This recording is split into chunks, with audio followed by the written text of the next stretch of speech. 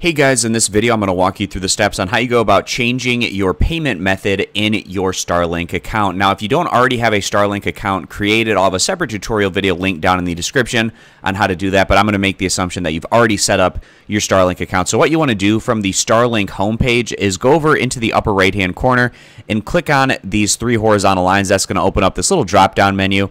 Go down and click where it says sign in. That brings us over to the sign in page where you're going to enter in the email and the password that is associated with your Starlink account. And once you enter in that information, go down and click where it says sign in.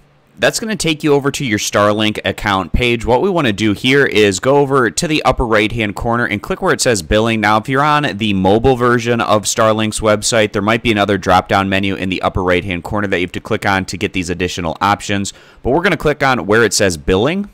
And then in your billing area, what we want to do to change our payment method is go down and find where it says payment method and click on this little pencil over here on the side.